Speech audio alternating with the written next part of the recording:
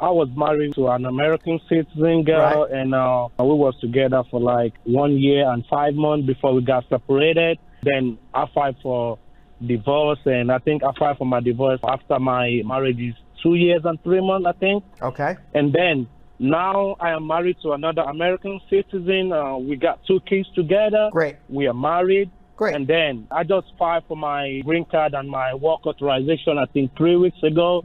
Great. And, uh, and, and I think our marriage is around nine months before I filed for my green card and my work permit. So what's the problem? I just want to know, uh, am I going to get you know, a 10 years green card for that? No, because you've only been married for nine months at the moment. It's based on how long you're married to your current wife. Oh, if okay.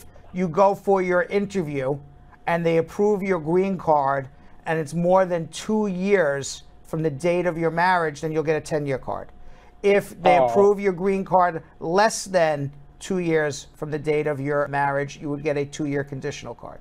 At the moment, you're getting a conditional card, but maybe they take so long. The one positive thing for immigration taking so long is, you know, if you get your interview and, and your green card after your second year of your anniversary of your marriage, you get a 10 year card and you're done.